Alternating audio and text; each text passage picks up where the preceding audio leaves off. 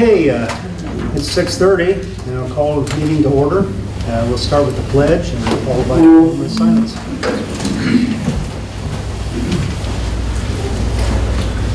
I pledge allegiance to the flag of the United States of America and to the republic for which it stands, one nation, under God, indivisible, with liberty and justice for all.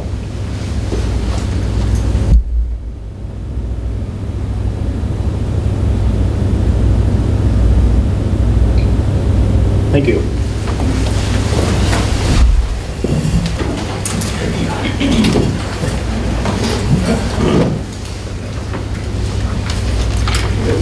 Okay, we're going to start this evening uh, with a presentation uh, for the Safe Sports Award. We have Mr. John Alley and Christina Hughes to give the Can I present from here, or do you want me to come?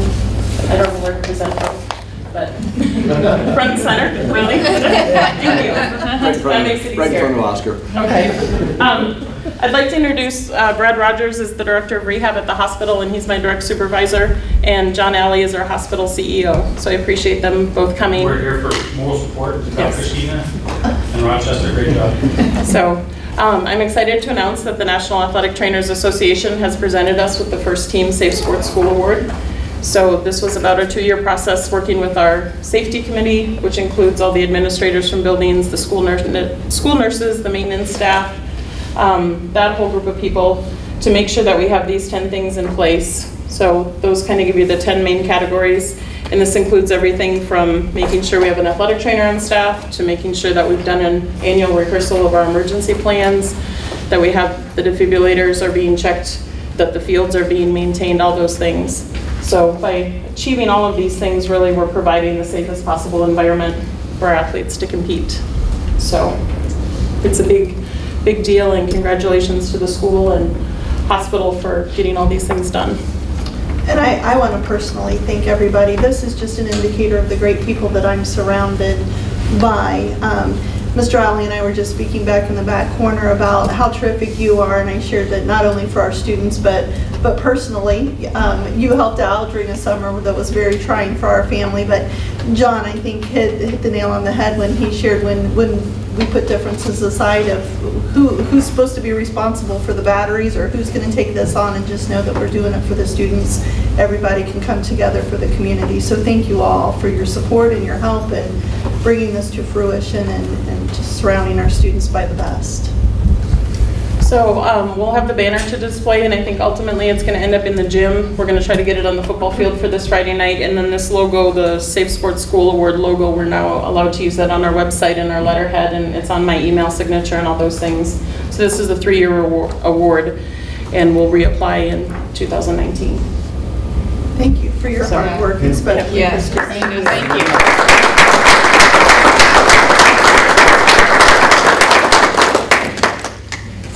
Good to know safety is a priority for our students. Thank you very much. And Mr. Alley said he has a board meeting tomorrow, so I gave him permission to leave. About one long one tomorrow may be enough. Yes. Did you gentlemen have anything you would like to add or something? I mean, Christina really spearheaded the whole thing, working with Mr. Health and, and now our new athletic director um, here as well. And they just worked really hard for the last three years, making sure that they organize everything, make sure that we all show up when we need to, to make sure that we're uh, doing the walkthroughs together and anything we needed, or that she's needed, she's uh, kept us really up on everything. So we're just really happy that she's with the schools, working as a representative for Woodlawn. Jim, thank you as well for your hard work and all of that. Thank you. Thanks for coming in. Thank you.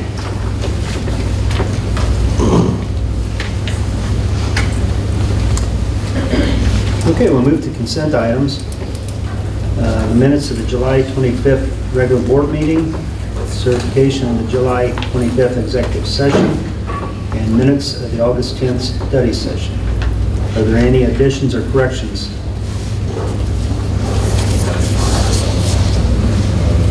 If not, I'll need a motion to approve. So moved? Second. Okay, a motion by Jenny, second by Sandy. Any other discussion? All in favor? Motion carries. Seven zero. Uh, Approval of claims. Val? So tonight, we've, um, on the docket is approval of claim number 9,833 to 10,003, uh, totals $894,933.94. Uh, We did find um, a correction that needed to be made this afternoon. One of our vendors is new, and the name that was put in needed to be corrected. Um, And in your docket, it's in as Innovation Modular Solutions, but it should actually be Innovative Modular Solutions. It's the uh, um, rental due for the new um, temporary unit that's at Columbia. So my apologies for that. It'll get corrected. Um, It will be correct on the check when it does go out, but on the claim docket, it was, um, it's listed incorrectly. But um, outside of that, yeah, we've got $894,933.94 on claims. Payrolls totaled, um, let's see, on August 5th, it was $309,713.74. And on August 19th, which is the first payroll of the 17, I'm sorry, getting ahead of myself, 16, 17 school year, um, is $351,862.13. Fund reports, Karen. This one.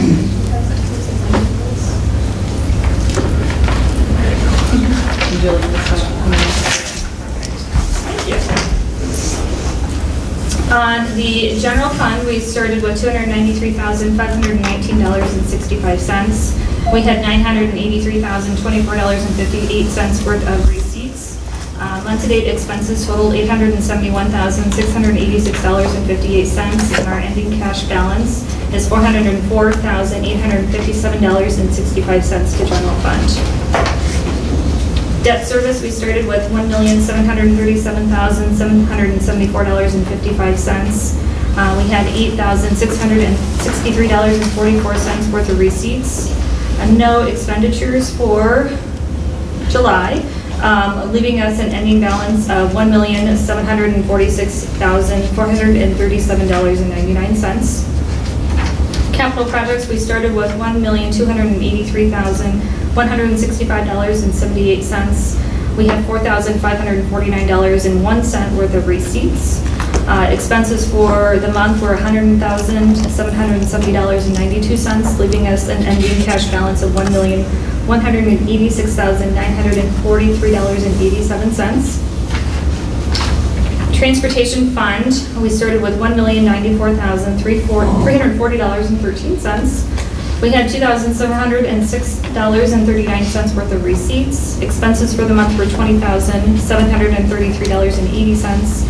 leaving us an ending cash balance of one million seventy-six dollars, I'm sorry, one million seventy-six thousand three hundred and twelve dollars and seventy-two cents.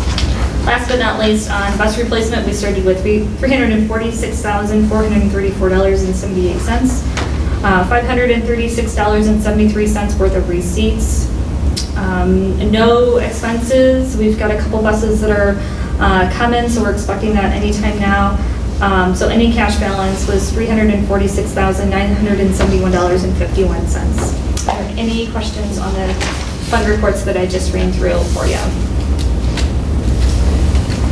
Val, I know that usually in the fund reports, the self-insurance fund isn't listed there. but We were just discussing that, and I noticed in the um, claims docket that there had been some movement to move over, so has that, uh, roughly, do you remember, is that coming out about even right now, or are Um, we gaining in that? It's, it's on a month-by-month basis. Um, As we begin the new plan year, we're definitely um, being more mindful of that, a new process that we're going to be transitioning to, or uh, not a new process, but a a process to be more mindful of our, um, is, is, is definitely watching that and being more proactive um, when it comes to um, needs and things like that. So uh, when it comes to, you know, general fund, the corporation will have a um, per plan contribution and then monitoring as the need, um, you know, as, as claims come in, because we are a self-insured fund, um,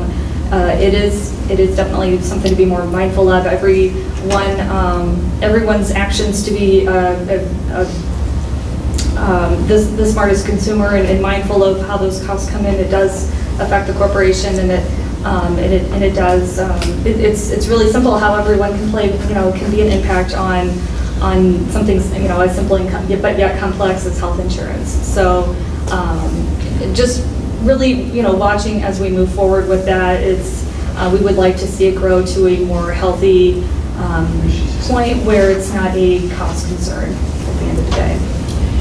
I want to give Clint Guard um, credit. We have really started opening up communications with our CTA and trying to explain even with the administrative team and with the teachers what it truly means to be self-funded.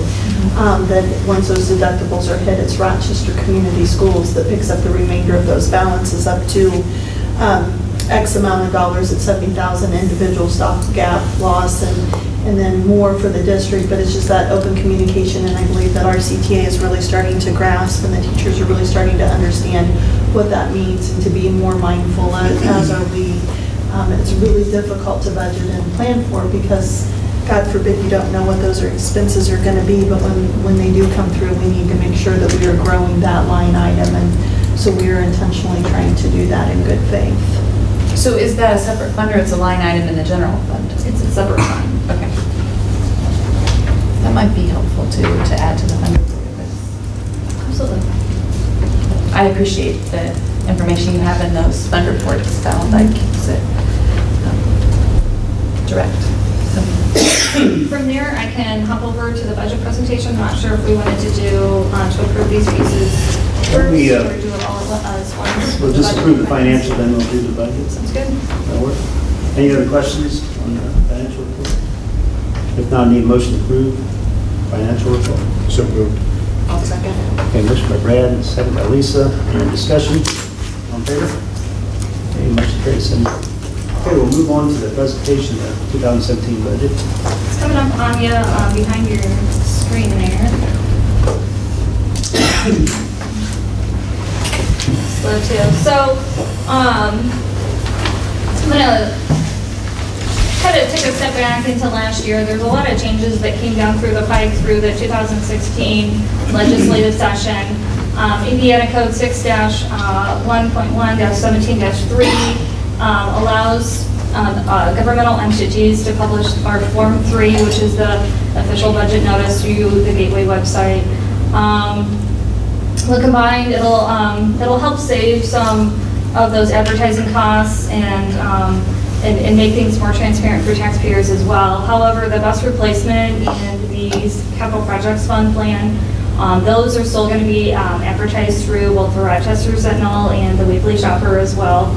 Um, More updates for this year um, was another uh, transparency piece. The goal was to provide schools, cities, and towns with more information um, in a more timely manner. And this is just uh, year one of it. Year two for the next year for our 2018 budget session, or, you know, budget presentation is anticipated to um, be more of a detailed version of this year. This year, we um, received our assessed valuations um, literally a couple days ago. Um, next year, the goal is to have that um, established by June 30th um, and have that out to all the units uh, first thing in July, which is when all, especially schools, are are typically working budgets, but when a lot of that um, preparation work takes place for units. Um, Like I said, we've always already received our maximum levy budget for 17. um, And we can proactively prepare, you know, where necessary, even a lot sooner in the game, you know, if the um, assessed valuation, you know, drops tremendously, then we can start to do some of that proactive work um, during the last six months of the prior year versus, you know, 12 months of the of en- ensuing year. You can go ahead, Scott. So, budget calendar, uh, what the goal is, is August 31st, which is uh, not this Wednesday, but next Wednesday. The notice of public hearing uh, will appear in Gateway, and then bus replacement and CPF plans will appear in Rochester Sentinel and the Weekly Shopper. On September 19th, we'll have a public hearing.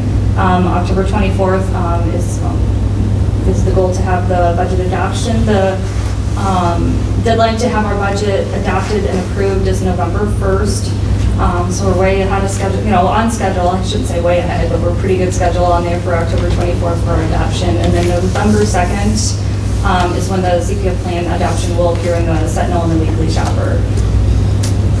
So here's a recap of the last four years of year-end balances for each of the four, I should say, five funds. Um, um, In, in, over the years, it's, you know, you know, kind of grown, dropped a little bit, and then it looks like we, um, you know, kind of plateaued off as, a- on a, on a total as a whole um, from 14 to 15. You can go ahead, Scott. Um, So 16, um, budget review. Let's see, we've, this is just looking at, um, we went through the budget process last year. Um, You know, this time last year, we were working 16th budget, and then in about January of 16, we had our budget, um, our, we received our 1782, which is the formal uh, piece of our budget of, of this is how much allocations spend, this is how much we're gonna get in tax levies, and this is, so this is pretty much how it struck out after we advertised doing the same piece we're doing right now. So in debt service, we advertised a little over 3 million, we pretty much, um, re- difference of $585 on that side. CPF, we advertised 116, uh, we got 1.4. Transportation, we received 764,000, we received 730. Um, So, the- you know, overall, and and the same with bus replacement, we we did- we were down 14,000 in bus replacement too, but overall, it's, this is, um, this is pretty much what DLGF, you know, like what the goal even as, um, all the taxing units, what the goal is, is to have all of that assessed valuation information early enough so that we can have, you know, you know, advertise as accurate budgets as we, as we can. So, um, go to the next slide from there. So moving into 2017, uh, rainy day, this is a formality, you have to advertise that, um, that you're gonna spend it to receive the appropriations, which is your permission to spend. So not that I look to, you know, need to, you know, or or foresee the need to dip into those rainy day funds, we, we do have to advertise and, and go through that process to get those permissions. So currently, right now, we have hundred nineteen thousand, four hundred and seventeen dollars and seventy-eight cents in our rainy day um, beginning balance, and, and here's a yearly snapshot reviews. We started with seventy thousand, we got forty-eight thousand, um, in from the state that said that we had to, uh, apply that to our rainy day fund. We've not expended it, of course, and so that's our ending balance. So, um, And then rainy day projected revenues, again, you know, this is how much we're, if we're looking, if we're anticipating receiving more money, then we would um, want permission to spend more money. But at this time, we're not um, anticipating putting any money into the rainy day due to our self-insurance fund balance needs. So history, general fund, state tuition support, this was another interesting piece as well, just the difference in the funding formula and enrollment of our students and things like that. Um, Our estimated ADM right now um, that was submitted to the state back in May um, was 1,790, um, which is even uh, an increase of 87,000 over prior years. So that's a good move in the right direction. Um, We'll have to wait and see how the September enrollment comes out to be for the final. That count day is on on September 16th. So any more students that enroll in before the 16th would definitely um, help out our district. So projected revenues are coming in at $15,210,630 at this point. Basic grant, we get summer school funding, and we get a lot of other funding as well, and those are those totals that will get advertised through the gateway on the, the budget site. And then from there, um, this is a grouping. Um, What I've sent to you in your, um, through the board docs site is a detailed line by line by line. This is a grouping of six, it starts with 1,100, that's all of our um, kindergarten, elementary, um, salaries and benefits and expenses from there. The 1,200 is middle school, 1,300, um, I'm sorry, 1,200 is specialized focus, but the 1,100, my bad, um, my apologies on that one. 1,100 is actually should be 11,000, I should say, is elementary, middle school, high school, salaries and benefits, and materials and supplies and everything else that goes into that. 12,000 is specialized focus education, 13,000 adult basic, and then from there, it just goes down the, um, the gambit through all of those other programs. You go on to the next page, there's even more. um, where, you know, office superintendent, the principal salaries, um, maintenance of buildings and grounds, and athletic coaches' salaries and benefits. So that all comes to about fifteen million, three hundred thirty-one thousand, two hundred and seventy dollars that is, uh, gotta be advertised in our budget for those meetings. Um, A couple more finalizing pieces um, that were, that just wrapped up our open enrollment. Um, That's definitely, uh, for our health insurance is uh, definitely a a part that affects general fund. Um, And then we do have a few more certified teacher positions to fill. Um, A piece that is interesting as well is to keep in mind when you're budgeting for a calendar year for um, a school that doesn't, you know, of course, schools don't operate on calendar years. And of course, school finance funding does not operate on calendar years either. It's on a fiscal cycle. So we do have 10 payrolls uh, to wrap up for 16 and then 16 payrolls in 17. Um, So those, there's even 10 more payrolls in 17 that, um, that, that are accounted for as well in 17. So that's, you know, definitely something to be mindful of. Debt service, um, pretty much our revenues are are pretty cut and dry. We get um, 99% through tax levies, or I should say 100%, but um, between property taxes and then um, other income from there that is other, I should say PTRC, which is property tax replacement credit. So um, $389,489 is on there. And then we have a breakdown of all of our um, principals and loans and all of our, um, our bonds and, and pretty much all of our debt in a nutshell. So that totals three million, four hundred and thirty-one thousand, nine hundred and seventy dollars. Capital Projects Fund, uh, we get, of course, quite a bit in in tax levies, and there's even other revenue that still comes in um, outside of Capital Projects Fund. So that's anticipated to be one million, seven hundred and twenty-seven dollars, I'm sorry, one million, seven hundred and twenty-seven thousand, two hundred and sixty dollars for Capital Projects Fund revenue. And what I did as well, I, I took the line-by-line detail and summarized it through uh, the groupings that they're located within and um, to uh, reflect our total allocations of 1,900,000 for expenditures. Sports, oh, sorry, back up real quick, sorry. Sports facility does um, have 50,000 in there. Per statute, we can spend a percentage of our capital projects funds on sports facilities improvements, so that allocation is accounted for, that's just more of an FYI. Technology also plays a big part, as well as um, maintenance and buildings for our capital projects funds, just keeping, um, keeping things running. Transportation funds, um, of course, again, um, quite a bit for, through tax levies and then property tax replacement credits and, um, and there's another line in there as well through funding through other outlets and uh, revenue sources. Projected, projected expenditures um, are grouped again, just a summary page of uh, those allocations. Um, Transportation administration, that includes not only our uh, transportation director, but also his secretary.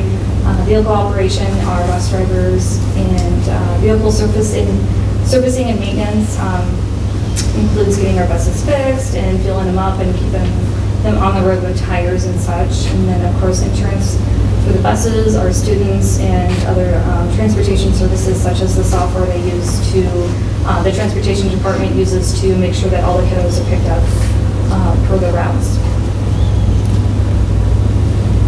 Bus replacement fund, it's pretty self-explanatory. We get uh, money to buy more buses and um, uh, replace buses as they grow old and weary with lots of mileage. We get tax levies and property tax, property tax replacement credits as well. Anticipated $268,018 from there. Um, And then in on the flip side of it, for expenditures, we're anticipating 360,000. Now, if you notice on this one, there's more expenses than there are revenues anticipated. That's because we've got a cash balance that we're anticipating. Um, We've got about a little over 300,000 worth of balance right now, and our buses are coming in about, at about 260. So uh, we'll have a cash balance to bring in, and then that will help offset the difference. Yeah, so from there. Then here's another recap again of, you know, where we were, where we're coming in at and things like that. So Next steps for the budget process. So today, uh, what I'm looking for is to, the approval on to um, advertise our 2017 budget. And then from there, that will get uploaded into the Gateway site and be viewable next Wednesday on the 31st. Um, The bus replacement and CPF plan will be available for view through uh, the Sentinel and the Shopper. And then, oh. Um, oh, yeah, we were, we were good, were on it, Scott, thank you.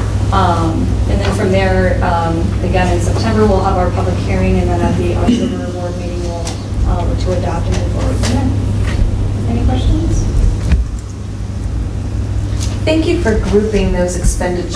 That is so helpful to see that. I like the detail there too, but it is nice to see that grouping. It's, it's a lot to look at on the detail, so. Well, and I think that's very user-friendly then for anybody else who has any questions or wants to Means- see. Means a little more things, so, thank you, you're welcome, thank you. Thanks, Val. Any other Yeah. questions?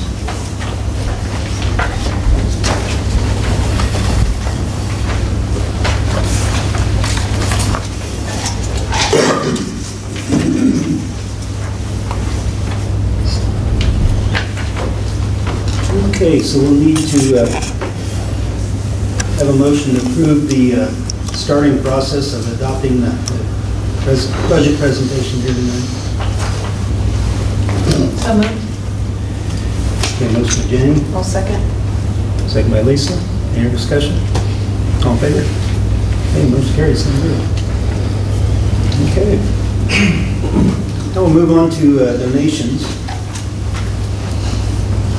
We have the Fulton County Solid Waste District, the Riddle, uh, 2015-16 recycling, $300. Fulton County Chamber of Commerce, uh, RHS Band, participation in the bicentennial parade, $150. Sally's by the Shore Athletic Department sales from the RHS Fall Sports Preview Night, $70.50. Fulton County Pack a Backpack, um, Columbia, extra school supplies donated, folders, paper, glue, crayons, pencils, eraser, uh, pocket Kleenex. Tim and Candy Hayes, RMS Letter Lounge, um, gumball machine and foosball table. Sue Cash, RMS PBIS store, diamond earrings. Brenda Downs, RMS student needs, miscellaneous clothing items. Booster Club, uh, the athletic department, Rochester Middle School volleyball uniforms, $1,025. Rex Reinhold, athletic department, shootout gun for basketball teams, $3,300. Boys Jet basketball boosters, athletic department shootout gun for basketball teams, $150. And uh, Stephanie Barkman, RHS Library, in memory Kay Goshert for purchase of books, $15. Uh, Yola Goshert, RHS Library, in memory of Kay Goshert for purchase of books, $15. Fulton County Soccer Association Athletics Soccer Goals, $700. And uh, Rochester Boys Soccer Athletics Soccer Goals for $495. Are there any additions? Not that I'm aware of. Okay, we need a motion to approve the donations. I move we accept those donations as listed. Okay, motion by Lisa. Second by. Second by Steve. Any other questions? All in favor? Okay, Motion carries seven zero. And once again, I'd like to thank all the the donors, uh, and everything else. That list, you would always imagine, and rightfully so, that that list would get smaller and smaller, but in fact it does, and it continues to grow and maintain, and it's just a testament to our community. Okay, thank you. Moving on to information analysis, uh, approval to purchase or trade grasshopper mower with 72-inch deck. Val, do you have additional information? I don't, I don't. Um, Looking to trade in our current deck um, for a new one. Um, um, We're getting a $3,000 allowance on our current one to apply towards the purchase of the new one. Um, And from there, it will, lower its little heart out. Brian, Brian Stockburger just came to me and shared that they're continually, it just gets to a point where you have so many hours on the mower that that those expenses are, are continuing, the, the cost to maintain and to fix it is more than than what should be necessary, and it's just time for that trade-in. We did talk about whether or not we felt like, I know later in our board um, agenda, we have items that we would like to try to auction off or, or sell, and uh, the group consensus was we would get more in a trade-in value than we would trying to auction that off. And Rochester Ford New Holland has always been more than fair with us in regards to helping us out in that manner. Any questions? This is more just a procedural question. I'm curious, what made this rise to the level for board approval? Because it's like $13,000 or something. Mm-hmm. The sale of the equipment. Do, I mean, I guess lesson for myself, do, every time we sell or trade in our school equipment, do we need that board approval?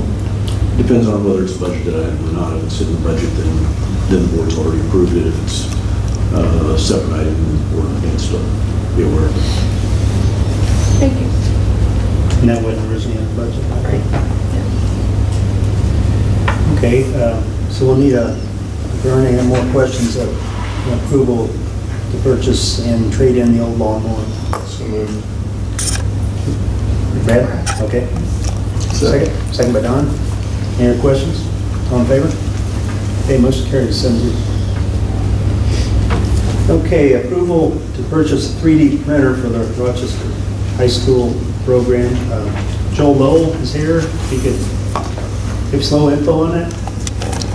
Um, we're, uh, the engineering department uses the 3D printer rapid prototype machine, um, you know, almost beyond daily, every class period uses it. Our current model has 3,256 hours on it. Um, When I called to get quotes on it, they couldn't believe that we've had that many hours on it, to be honest with you, and it's still running. Um, Most of the school corporations that they sell to have somewhere between um, 750, 1,000 hours on it. Our machine is currently nine years old. Uh, It's just like a computer, you know, just using a computer for nine years. Uh, it's, it's been a good machine, but it's, it's time to uh, upgrade it and move on. Uh, That one currently will go to the middle school. They do not have the demand that we do. Um, It's just like anything else, you know, we're all trying to compete for students across the area, and I I feel like that's kind of the backbone behind the engineering department is the the rapid prototyping machine. About, correct me if I'm wrong, we would have the money in repair and replace for, for this item.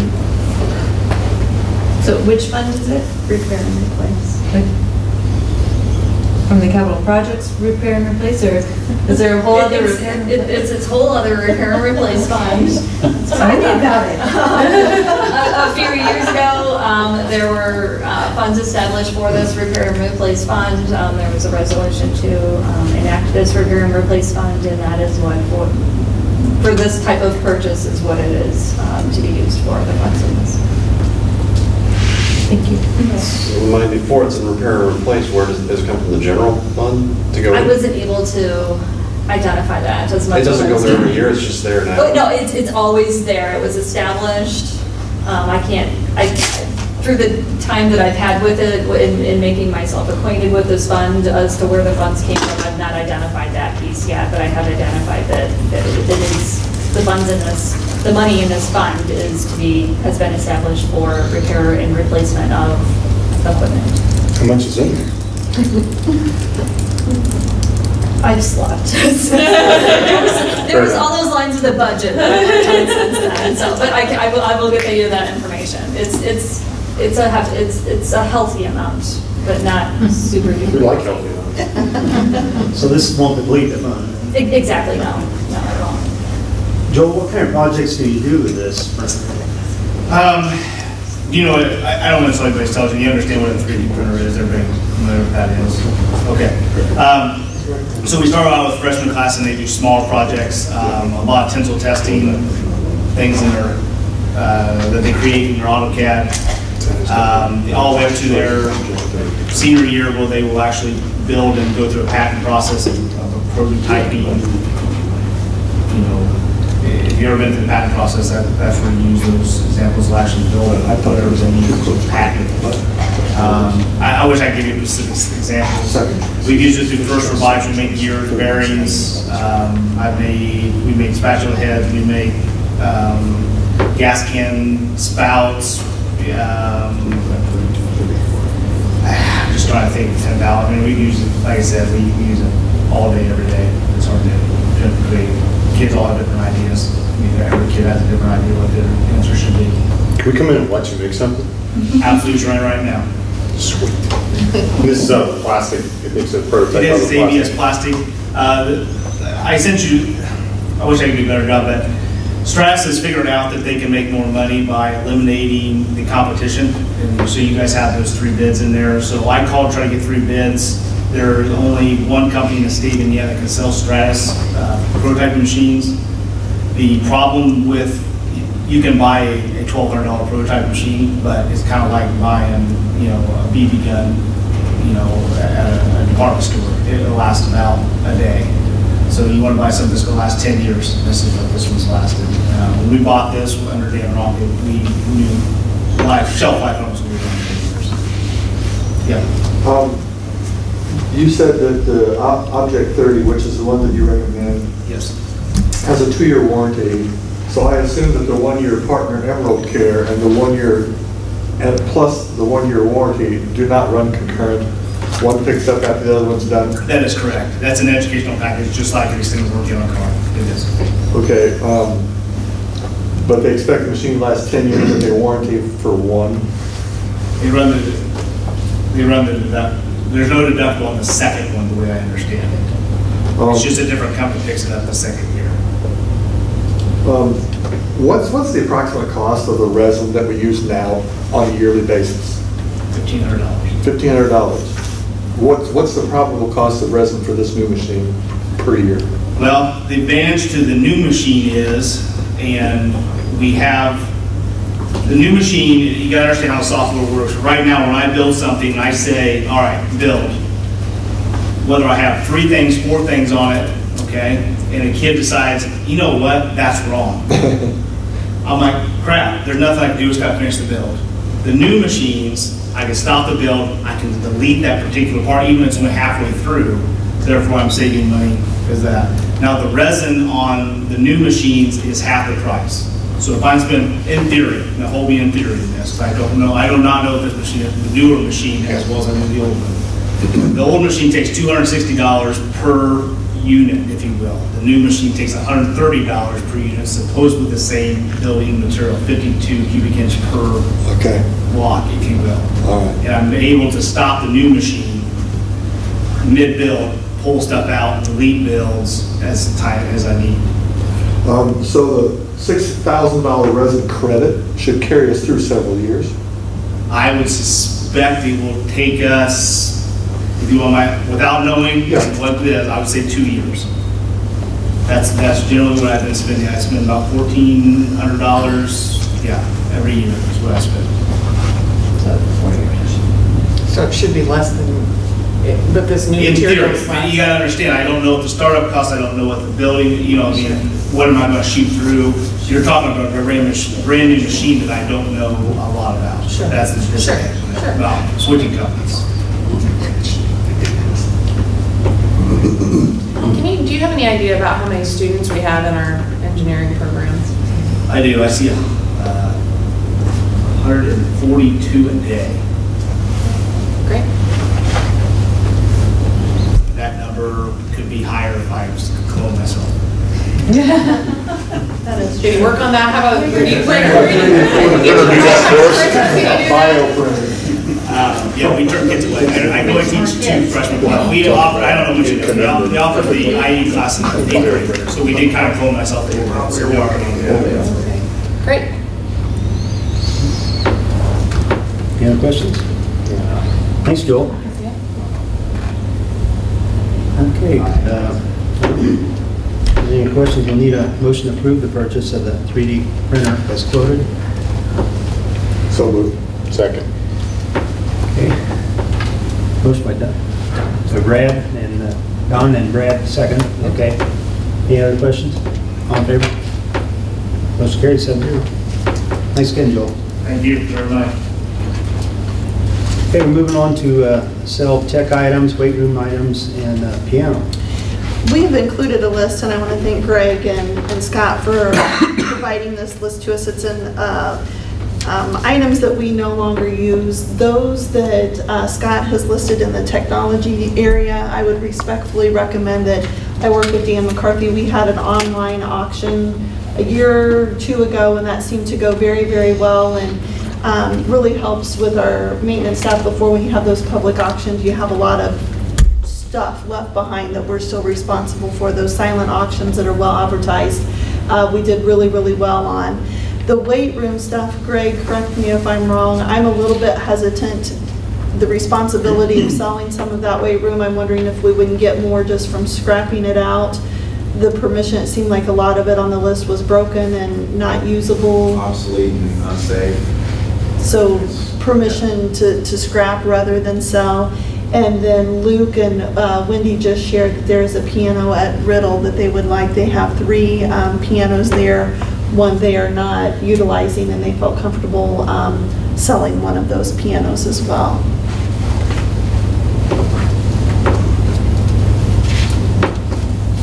I make a motion that we scrap out the weight room, weightlifting equipment. I looked at it as well, and I'm by no means an expert, but it's junk. And, and pri- scrap prices are not that good, but at the same time, I think we would get less taking it through the process of a auction, and we'd be better off to do it through a scrap process. I should let you make the motion. That You can make it also, I mean, I've seconded it now, so. Um, Do you want a separate one for the piano since we're gonna sell it? But we would also be trying to sell all of the technology equipment on that list as well. So the top list of, with all of the technology, I would propose doing a silent auction online that, just as Dan McCarthy and I did, was that maybe two years ago when we did that? I think Year we've and a half? got there, yeah. um, and try to sell this technology equipment. I'm proposing scrapping all of the weight room, uh, those areas from the athletic department, but also trying to do a silent auction on the piano. Okay, well, I amend my motion to sell everything on this list with exception of the weightlifting equipment, and that should be scrapped. And I'm going to defer again to Mr. Marks. It's his house. I don't mean to step on your toes by offering that opinion, so. No, I completely agree. Can you second the amendment? I second that amended last thing he said. Okay, we have a motion by Don and second by Brad. Any other discussion? All in favor? Okay, motion carries. seven to zero. Okay, moving on to uh, the approval of the Herman Goetz uh, for the HVAC bid. I want to thank Terry Thornton. He spent time with us prior to this board meeting, um, sharing what those bids were and exactly what that means to, to the board, to the community, to our school district. And he's going to recap some of that for us. Before you ask.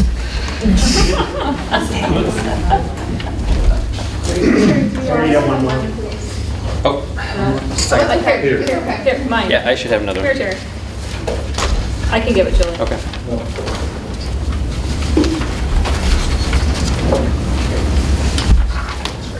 That's okay. No worries. Thank you very much. Okay. So as Ms. Said, I, we went through this in detail, so I'm going to give this version. And a couple folks were out, so just um, ask questions as needed. So back on August 9th, we received three bids for the mechanical replacement project for the high school. And um, those three contractors were Hagerman, Herman and Goetz, and Wilhelm. Um, Wilhelm, uh, just to give you some background, Wilhelm was late coming into the game and um, they were contacting us, calling us, or their subcontractors were calling us uh, a week, week and a half ahead of time, asking us what they were supposed to bid. So there wasn't much effort from the general contractor in helping them understand what they were doing. So I think that explains their bid a little bit and that uh, they didn't uh, know exactly what they were up against. Hagerman and Herman and Goetz bids, uh, all in all, were $77,000 apart, so that's 1.8% spread, which is um, really good spread for a project of this size. So that means uh, um, those two contractors included everything from our bid documents uh, with no concerns on our end that they missed something. Uh, In the end, Herman and Goetz was low with a base bid of uh, 4.27 uh, million, and then we'll go down this list and talk about alternates. The unit price numbers um, were just safety nets for us. If we had decided to do a couple more faucets or plumbing items, uh, we know what those unit costs are going to be. Um, Alternate item A1 is, again, a safety net for us.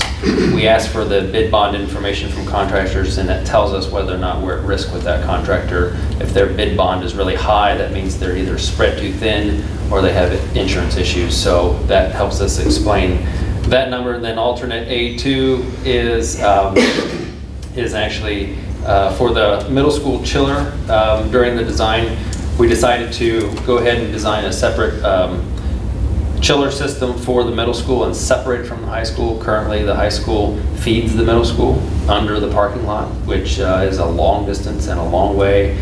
Um, Unfortunately, I have no way to tell you how much loss you have in efficiency in that system, but it can't be great. Um, Jim Swank uh, uh, all along has, has told us how deep the pipes were buried when we redid the parking lot for the buses a couple years ago. We found out they're not so deep. So that tells me that that pipe probably gets a little hot. Um, and so we lose some of that cooling in the process of, of moving it all the way across the, the property. Um, alternate A3 is for controls for the newer part of the high school. Um, the newer part being 20 some years ago, but it's still the newer part. Um, so we wanted to be able to put the entire building on the same HVAC control system. So we wanted to, a number to, to add that part of the building. Alternate A4 is for a generator hookup. That is for the whole building. That's for a semi to basically bring a generator big enough to power the entire building in the event that the community loses power and you guys become a shelter for the community.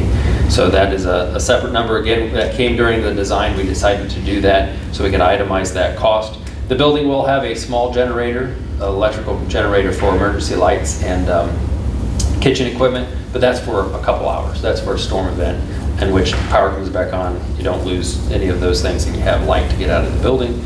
Alternate A5 is for duct cleaning. In the process of the design, uh, we did some inspecting on the, the ductwork in the building originally to 1965, and so it has dirt from 1965 built up in it. We decided it's probably a good idea to get that cleaned out since we're redoing everything else in the system.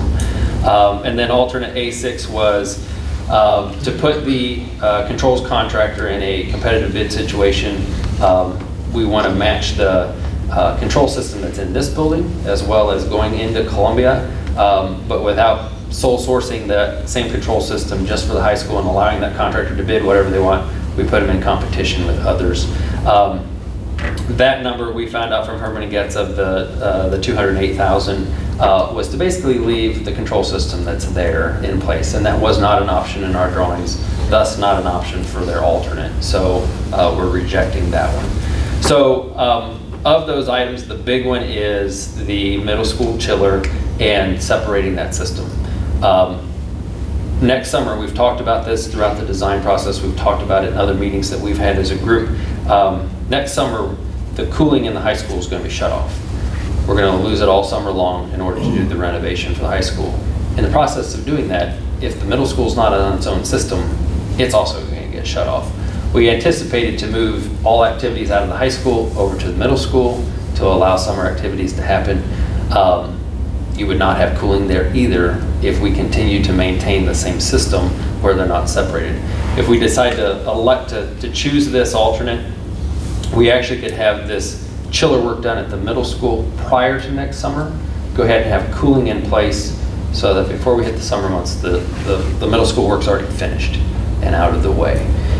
And Terry, correct me if I'm wrong, you shared earlier in the study session that there would be some cost savings in regards to what we need- that needed to do at the high school in regards to unit size and Correct. framing and those types of things. Can you talk a little bit about And so the, um, right now you have uh, a cooling tower that's on top of the high school, that's near the mechanical room, and then you have two ground-mounted chillers.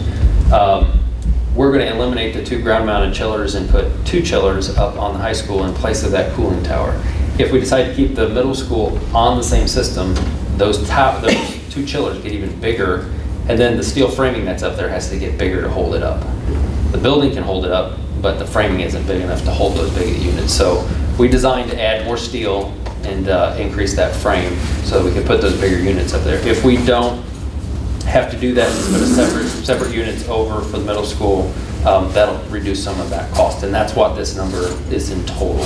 It's uh, moving some dollars from the high school, move it over to the middle school. And at the middle school, those two units, there's two units, they'd be uh, adjacent to the boiler room, so they're within feet instead of, I jokingly said a quarter mile earlier, I haven't, I've measured it, it's a pretty long way under the parking lot to get over there. Um, But we're gonna, we're gonna gain that efficiency in that system because we're no longer transporting cool, wa- chilled water under, underground um, that far distance. So um, that, those units would be uh, back there where the, the small electrical generator or gas power generator is now, as well as the gas meter, but it's gonna be fenced in completely, so it'll be hidden, um, at least out of sight somewhat, and, uh, and kind of tucked away. There's pine trees up there that help, help mask it and hide it. Um, And at that point, you no longer are dependent on the high school to cool the middle school. Um, And it's not only in the event that we lose the cooling, if you have a power outage at the high school, you lost cooling to the middle school in that process. So this separates the two. We talked about it in the study session earlier. When the middle school was originally built, um, it was a low-budget project, obviously, because the building didn't even have walls in it at, at- in the beginning. So it was probably, that was the thought, what's the least expensive option to get cooling to that building? To run pipe. So um, we're trying to separate them completely so that the, the middle school becomes a standalone building. So here's my four, my four point two seven million dollar question. Sure. We're gonna have two bigger chillers at the high school, to replace the ones that aren't as big or as efficient now, is that what you said? And I don't wanna put words in your mouth. Um, What, we- and to give you a little background, we talked about it earlier. Um, Currently, you have two ground-mounted units and you have a cooling tower. That one of those ground-mounted units actually isn't used very often at all. Um, Not sure how it was engineered. Uh, Jim Swank informed me that one of those units is a backup when it's 90 degrees outside. We designed the new system only for the need for the building, for the middle school and the high school separately, instead of this extra uh, capacity. Um, They'll be totally separate, two units at the high school that are smaller, and two smaller ones at the middle school. So here's my four point two seven million dollar question. With the two ones at share capacity high school, and a separate one at the middle school, so we don't have to use the two from the high school, where our rooms on the second floor are finally gonna be cool enough, so our kids don't come to me at four o'clock in the afternoon and practice and say, coach, it was eighty-five degrees. Is it going to fix that or not? I'll tell you what I told you, it's gonna be a whole lot better than it ever was. I can't make, I can't make complete promises, but right now, the biggest issue in the high school, the control system's a a wreck. Which is gonna be fixed with this though, right? It will be. And you'll actually have the capacity for the cooling. You go down in, you've been down in the, in the bottom. A few of you have been down in the basement, I think. Brad, potentially you were down there in the basement.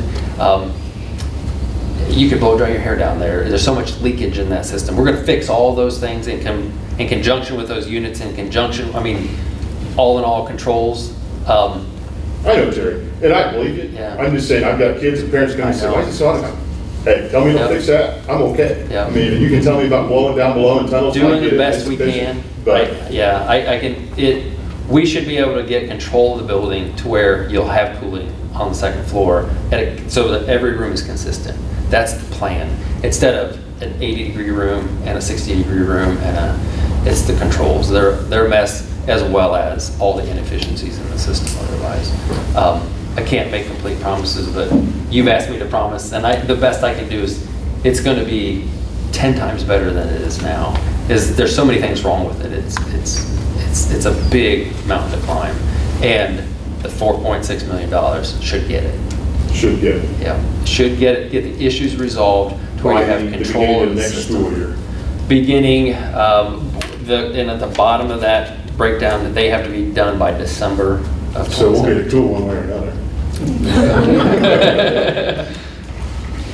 If we install um, an alternate aid to the middle school, does that mean we can reduce the equipment installed at high school? It will. It'll, we'll no longer have the two units on the ground that, that Jim has to maintain. We're taking the chain link fence down and actually uh, fixing the, so that he can use that space.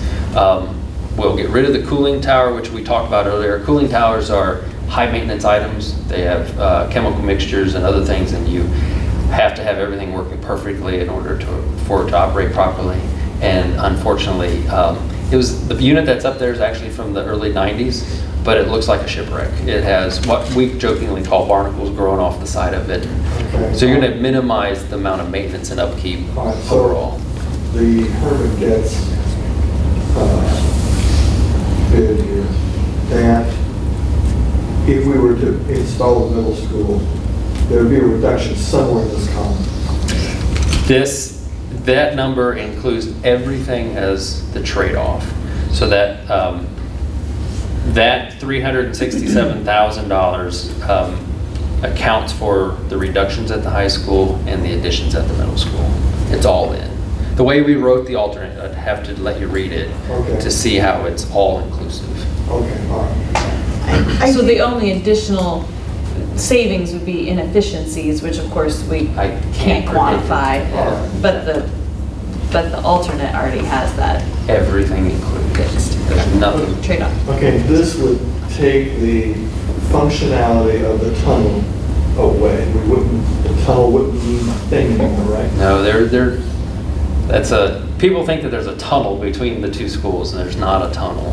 The tunnels, the story of the tunnels, you actually have tunnels under a bunch of your buildings, but I'll keep it simple. There are tunnels under the high school that go, and I could show you in the drawings after the meeting, that go completely from end to end, and you can walk through them. Yeah. That, those tunnels are, where- that's the ductwork under the building. It's blowing cold air through concrete block tunnels from one end to the other. And that's how they're. High school to middle school. Nope. No, from, so the, so how they get cooling to the middle school is pipes in the ground. It's, and it's just, it's moving cold water from one, one building to the next. So imagine, just like in your house, you're up on the second floor of your house, you turn on the hot water in the basement, and you wait, and you wait. Well, it's the opposite. We're sending that cold water over to that other building, and that, that ground's hot. And so you're, you're taking that cold out of the water as it moves all the way across the parking lot. So we're losing efficiency. We should see improved efficiency, and eventually we'll get new controls at the middle school as well, one of these days. And, but they don't have nearly the issues you do at the high school because of the second floor and the other things that Brad talked about. But no, I get it. I, I was in a school building for another school system on Friday, and my whole team was, and um, it was over 85 degrees, and it's unbearable. It, I can't imagine how these kids learn anything if they're worried about sweating all over their work in front of them, so. Brad, I do have a question. I'm going to put Brad on the spot here and Skeeter on the spot here. We had a meeting around that alternate uh, aid for the generator hookup when we were talking about wish list items and necessities to keep the buildings going in, in case of an emergency. And so my understanding is that this 62,800 would be the hookup system if we had a catastrophic loss and we had to bring in state units. And, and so my question to, to you gentlemen in law enforcement is if something were to happen in the community, I want to make sure that we're able to support the community and whatever their needs are. Would we, would we need that hookup or if they were bringing in that equipment, would they have the means to set that up for our community? The way it happened out of Hurricane Sandy was at Atlantic Beach, which is a barrier island, and I give you a little bit of background here on Long Island. They brought in a huge generator, which we reallocated, my attorney's here, so I have to use those terms. And there were local people that could hook that up. For $62,000, I can't sit here and represent the taxpayers and say we should spend $62,000 to make it easier on the federal government when we have a backup generator that can keep things cold and things like that.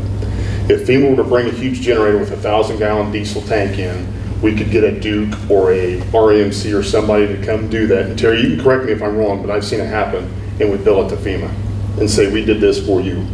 I can't see morally or ethically spending $62,000 to keep the federal government happy. No, that was my question, and I know we had that, we did have a meeting on what we, the necessities we discussed, and I, so we asked Terry to do that, and, and I thank you, Terry, for bringing that number to us. It was kind of one of those that we wanted to see. I'm one voice, Terry, Skeeter, what, I mean, what do you guys think? I don't, Yeah, we discussed it earlier. I've, I've designed a lot of these systems and thank goodness never seen it used because we haven't had it, a catastrophic event. Um, My concern is, that, as I mentioned earlier, is if, if it's, if, if you, have- let's just say you have a tornado come through Rochester, it only affects Rochester, fine, but if you have something affect three other communities and they all need that generator, who's getting it first? Probably who can hook it up the fastest. It's just, it's, it's just, um, I think it, it is an extra, um, but if you are, the high school is the sole source of shelter for the community. I, it's nice to have it there. Now is a good time to do it, but um, we don't have to make a decision on it today. We could, we could keep it in the project and, and, and try to do it later if the money's still there, or if the funding's not available from another source. Um, That was something we asked about too, Brad. Do you know, like, emergency management or other kinds of agencies that would be willing to pay for it now? And that's a good question. Skeeter, or the Public Safety Committee with Mr. Oz would have to see if there's some kind of grant to say that. To pay for it now, you know how bureaucracy is. I would say most likely no, but I frankly don't know.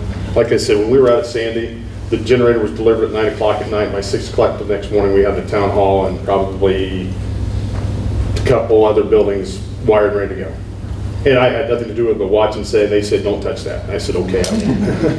I won't." So I mean, with the expertise and the relationships we have with Duke and RMC, I feel very confident that they would be more than willing, once they got their teams here, to, to help us. And I can't see spending sixty-two thousand dollars to do that.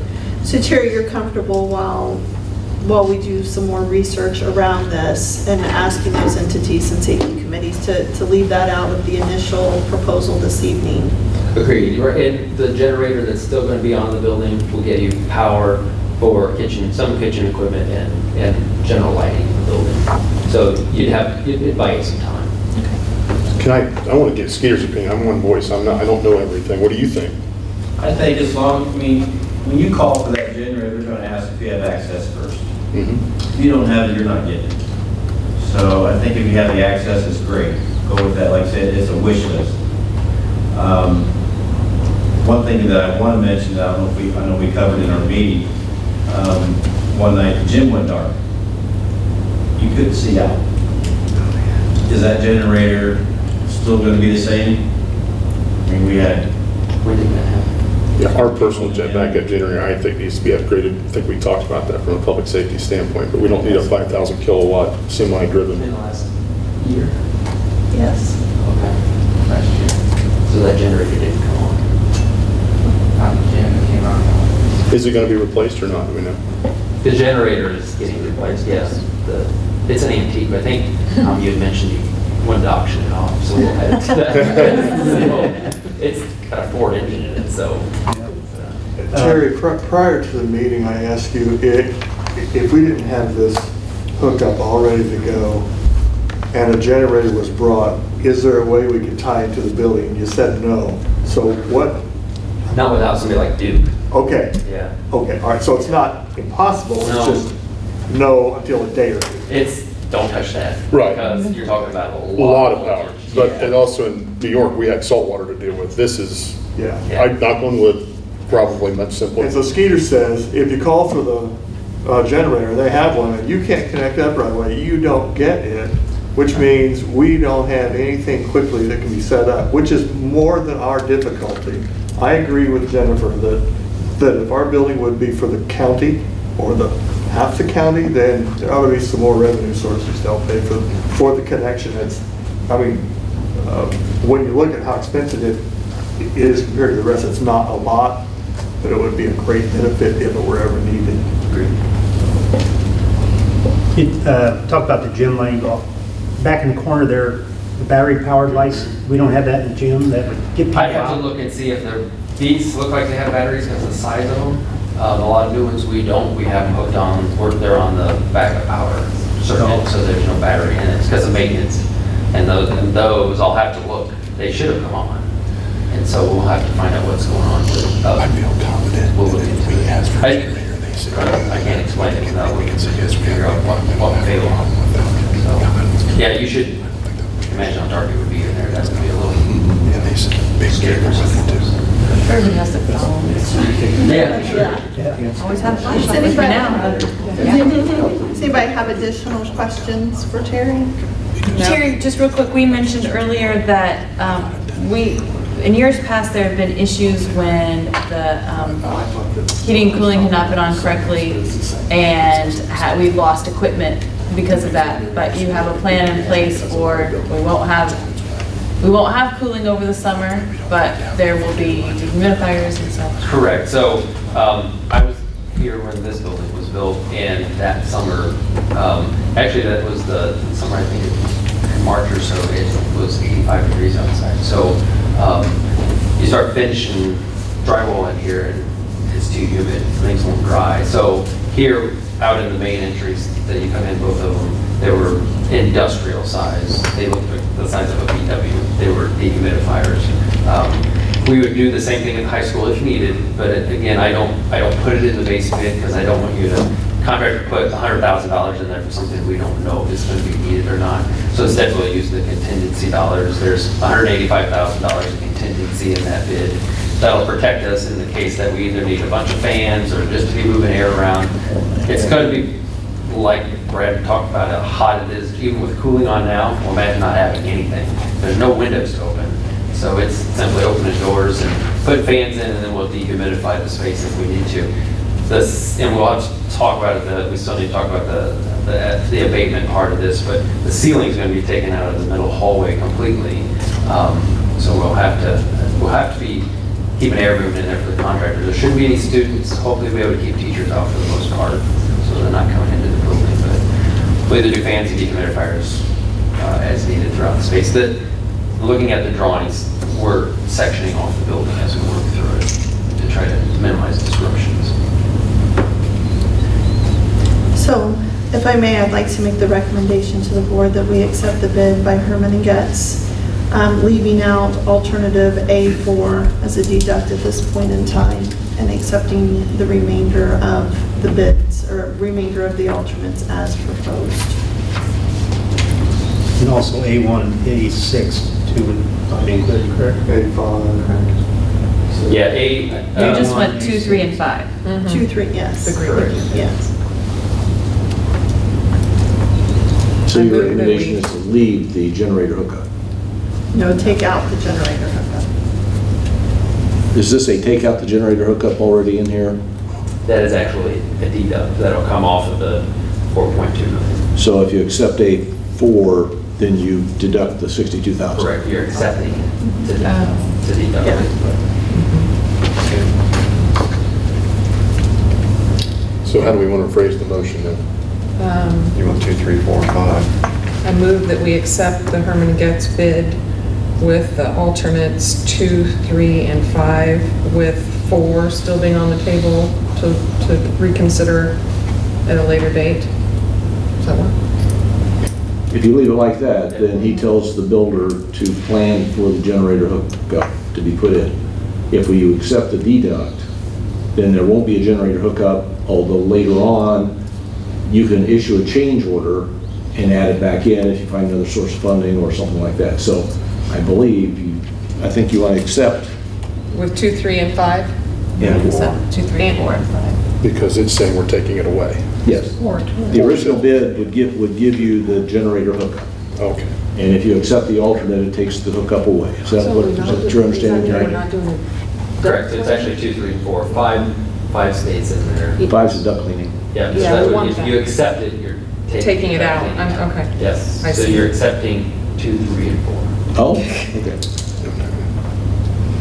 Why, I'm, I'm Okay. confused. I- I can't vote We didn't on accept five and take it away. I move to oh. accept the bid with two, three, and four. Oh, we don't want these. You do want to clean the ducts, right? Right. Is that right? Yes. If you want to clean the ducts, then you don't accept five. Right. So I move that we accept this bid with alternates two, three, and four.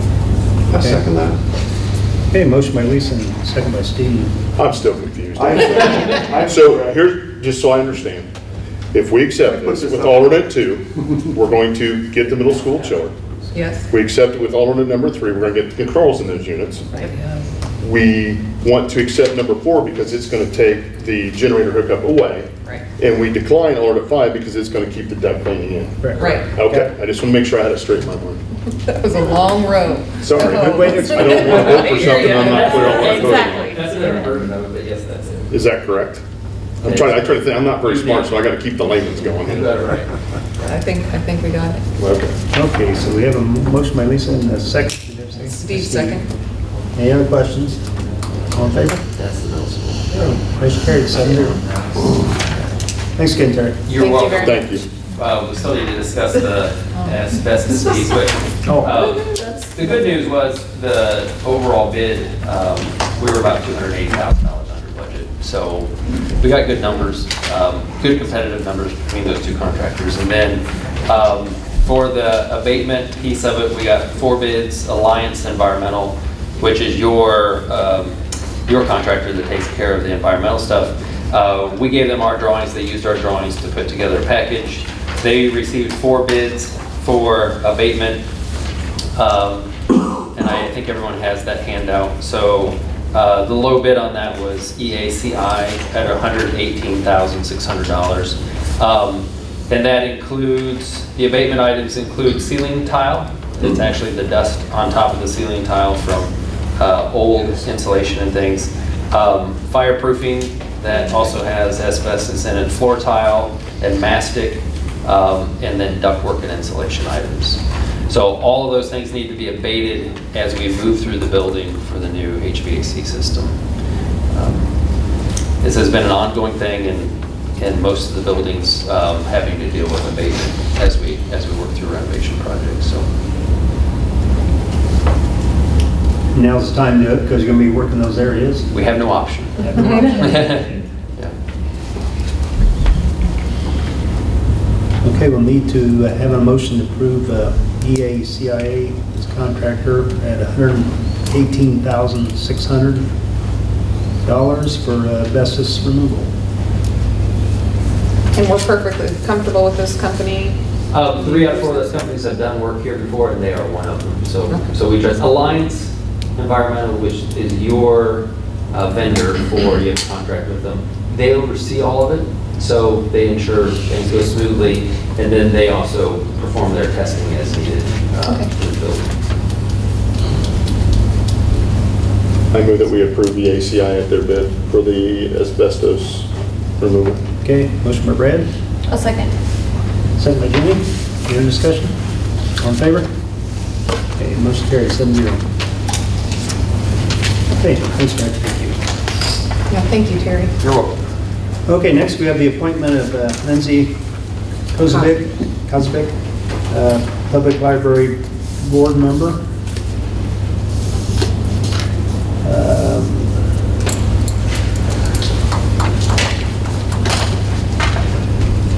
Any questions on this? I believe that's a reappointment. She's been on. Okay, this for the Kiwanis Union Township Public Library Board.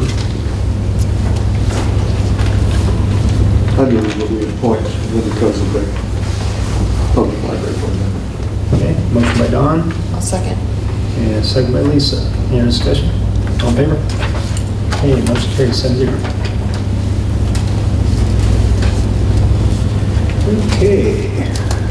Moving to uh, personnel report.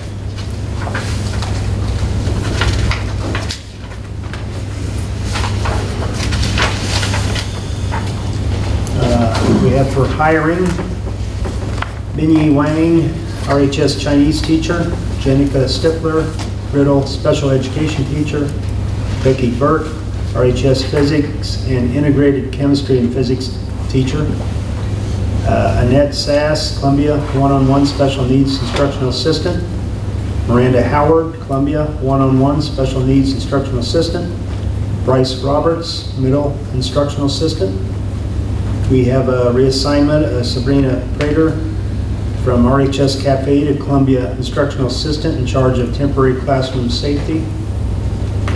Kayla Sheets from RHS Instructional Assistant, Intense Needs, to Middle Instructional Assistant. We have the resignations of Christy Brooks, Riddle, instructional assistant and bus aide. Cindy Hart, RHS building tech, effective August 10th, 2016. Nicole Evans, RHS integrated chemistry physics teacher.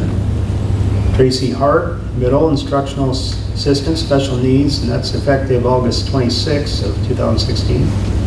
And uh, Shelby Seisinger, RHS diving coach. Then we have the high school, middle school extracurricular recommendations, which is a uh, lengthy list.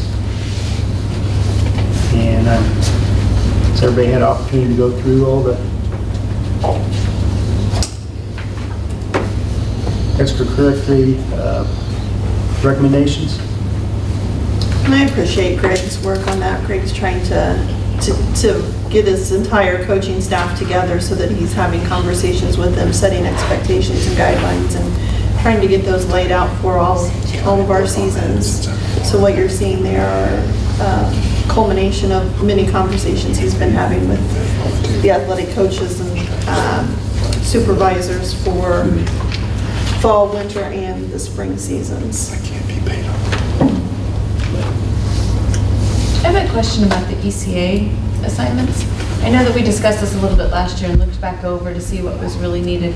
Some of them, uh, I would, like, especially in departments that have one teacher per department, is there something that they go beyond, that that's why there's an extra stipend for that? Adam, do you want to share how that works, especially at the high school with textbook adoption? and Sure. Um, yeah, whenever we do textbook adoption, they're in charge of that. A lot of these, um, even if there's just like one art teacher at the high school, when we do department meetings, they'll do department meetings throughout the district, so all the art teachers are all teachers throughout the district. Uh, we need to go over their curriculum and make sure that. Two people uh, together. From K-12.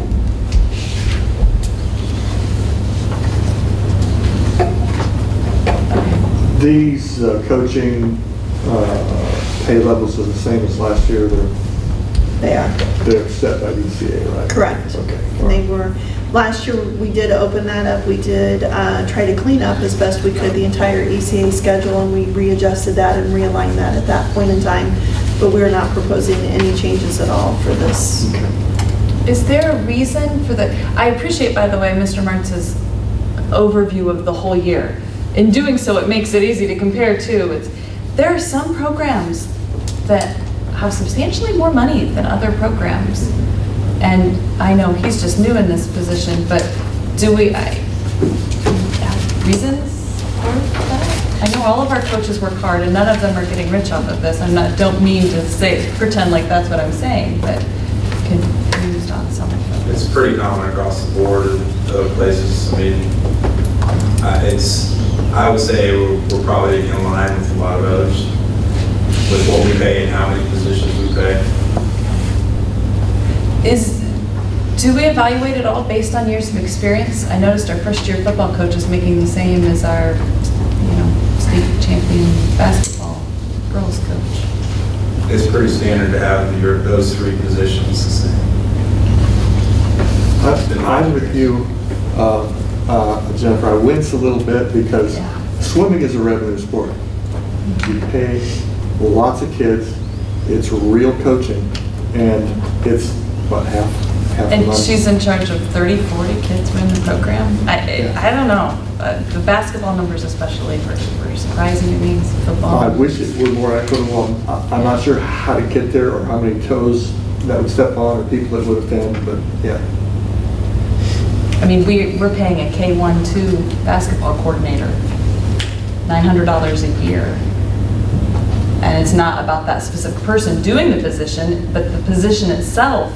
Does, does that rise to $900 a year when we have a lot of elementary and middle school teachers that are doing extra things too that are not being paid extra on here? And we don't pay youth football or youth baseball. We don't play soccer, we don't pay, we don't pay royals, I just, yeah, I, I'm not saying I won't vote to approve it this time, but I think there's still work that needs to be done to realign things. And I just mentioned swimming, but there are other, Oh, exactly.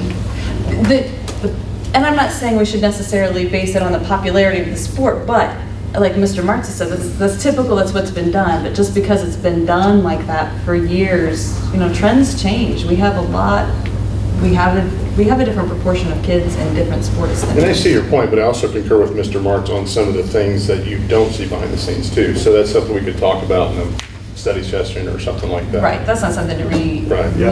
redo tonight, but that was something, because he'd done a nice job of laying it out over the whole year, that was easy to see. Um, And then a quick question on our chemistry and physics teacher, is the new hire a full-time position? Okay, so that is a change then from the position before.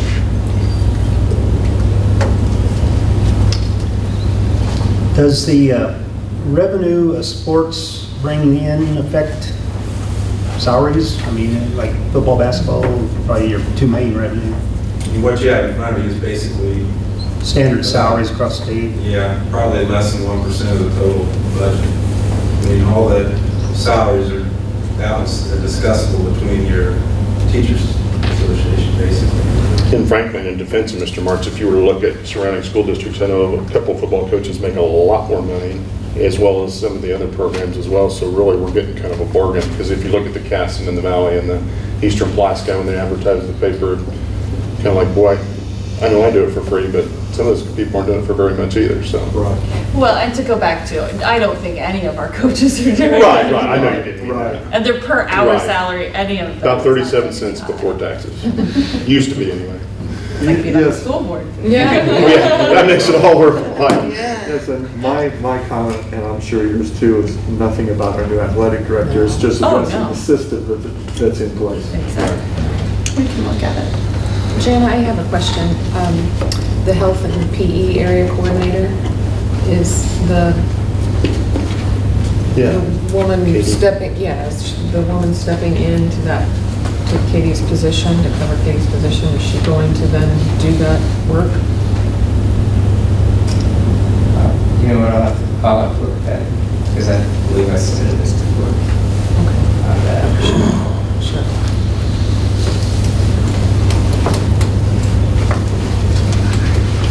Okay, any other question? I need a motion to approve the personnel report. So moved. Okay, motion by Sandy. Second? Second. Second by Don. Any other discussion? All in favor? Okay, motion carried, seven zero. Thanks, Greg. Appreciate your work. Thank you. Sounds like there's some work ahead of us to look through and consider.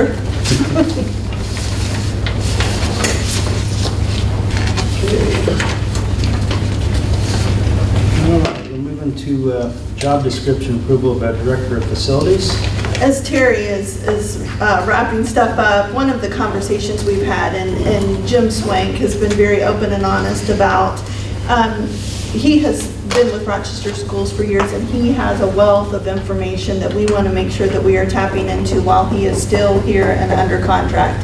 He has also shared that retirement is in his future. It's not in the near future, but in the next few years, he wants to strongly consider that.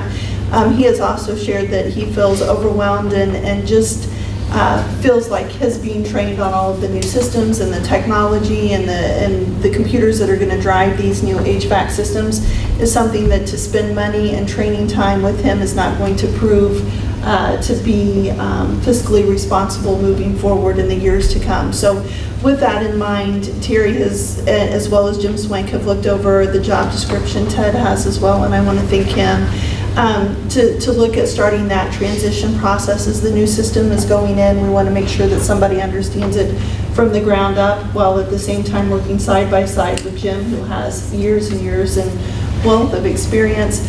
We, with some of the money and savings on bids and, and those types of things, we would propose that we would pay this director of facilities out of the bond money for the next two to three years as, as we're putting these systems into place, as Jim and his family are contemplating that retirement, and when it's right for him and for his family, and, and begin that process of, of moving in that direction.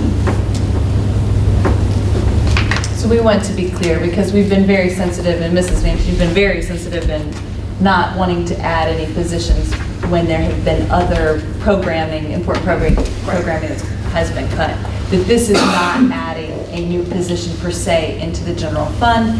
This is a transition piece and right now will be paid out of that. Exactly. It would be paid out of the bond money.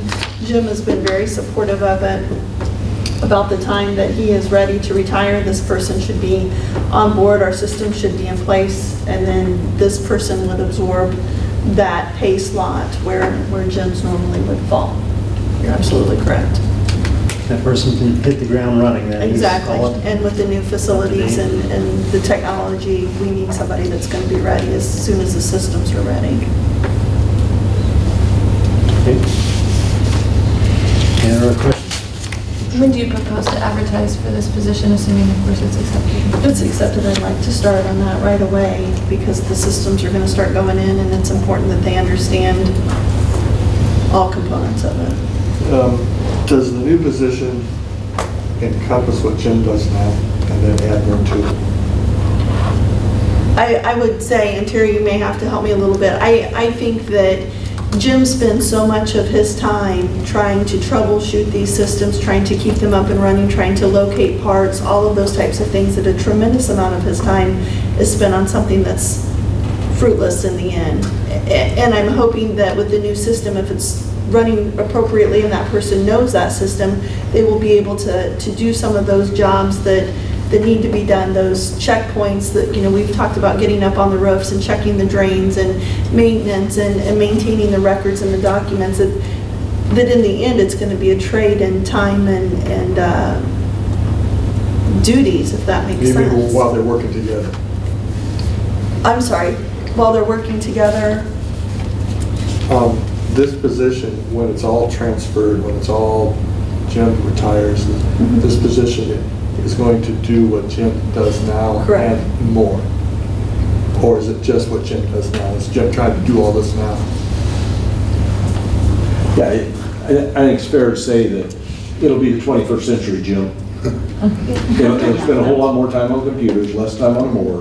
Right. But it'll Okay, be, that's but what- it will be the, the person in charge of building maintenance, build, uh, uh, the custodial crew, the custodial maintenance crew, the staff, whole, the whole ordering of techno- and the supplies. technology pieces across the campus. So Jim Swank 2.0.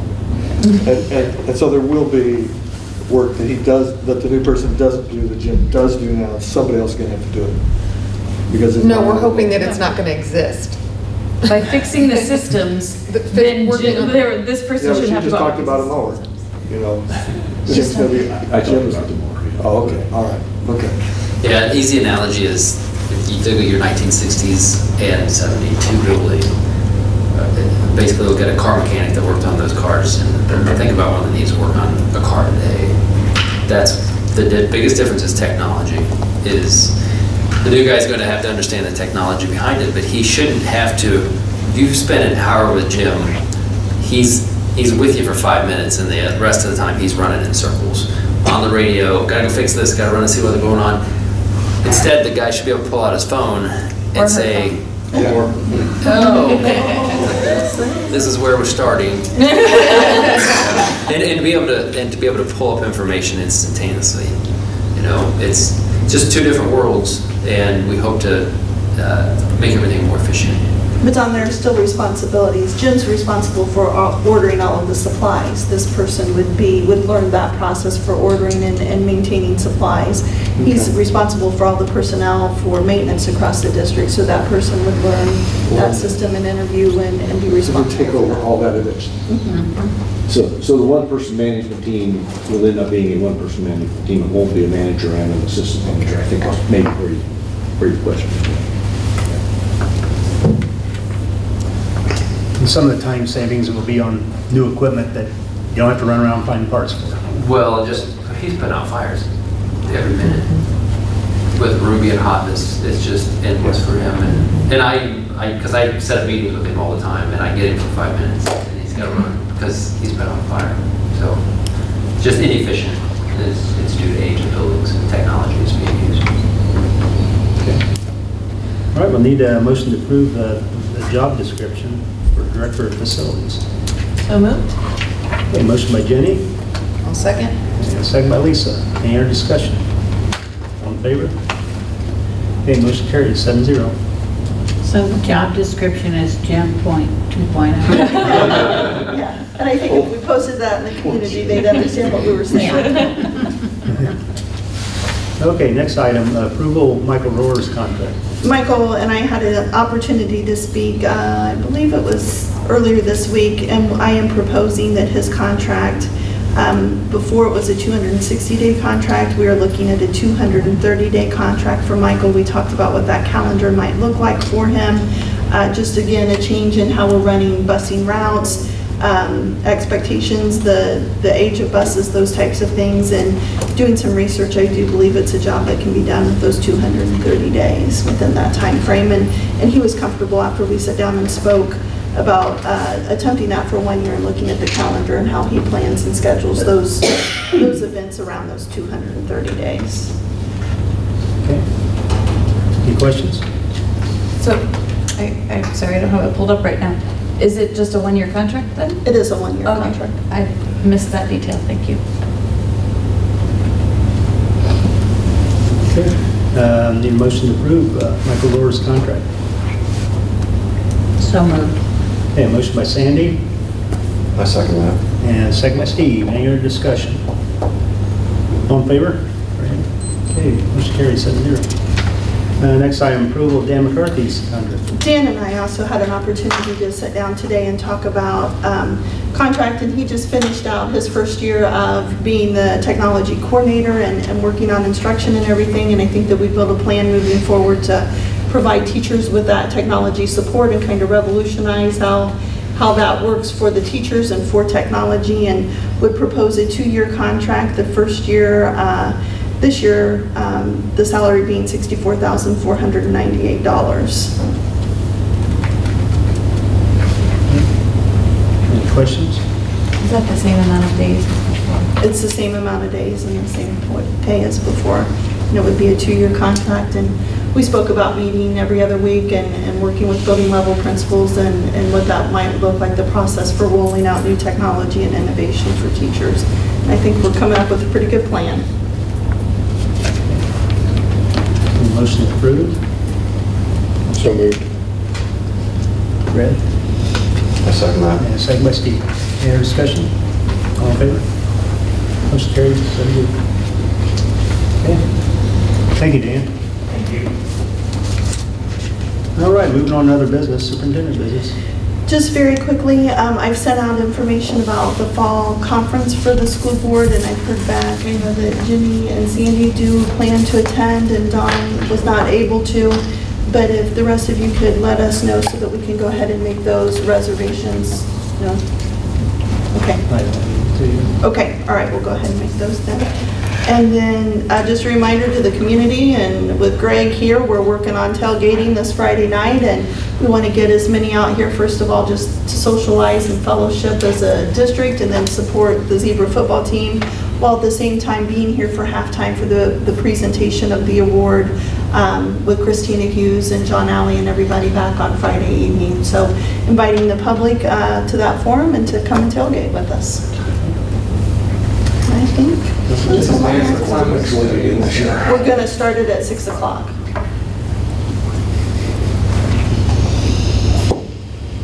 Okay, thank you. Board have any questions, comments? Anybody from the audience? Okay, if there's no objection, we'll adjourn the meeting. Thanks for coming.